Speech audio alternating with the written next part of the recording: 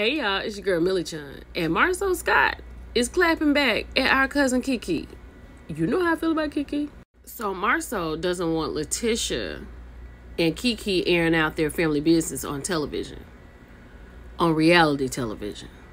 Marsau went on to say that KeKe is kind of like friends with the op, which would be Mel. But in KeKe's live, she stated that she had been knowing Mel. She talked about how they all had been hanging out before and how she found it so shocking that people were so surprised that she was over to Mel's house.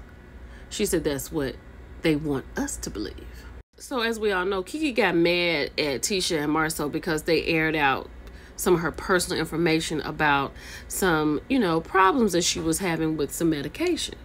So, in true Marsau fashion, which I know that this happened, I wasn't there. This is not alleged. I know Marsau said this.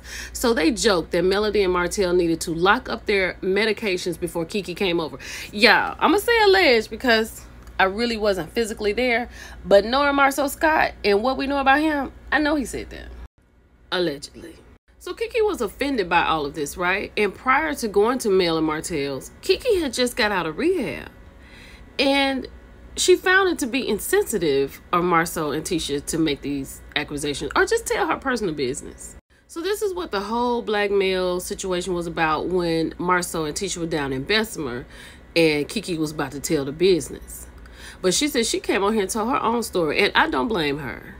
Y'all, KeKe had also said that if she had known that Marsau and Tisha was going to tell Mel and Martell that, she said she never would have gone to the party because just coming out of rehab that early and then having this toll, like she said, that was too much for her. Like, allegedly, if Marsau said this, and I'm not saying he did not, but this was very insensitive of him. And, and I can see him making a joke of that because he jokes about serious things all the time.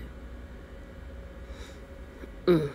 Y'all, we can talk about it. It's your girl, Millichun. I'll talk to you later. Bye.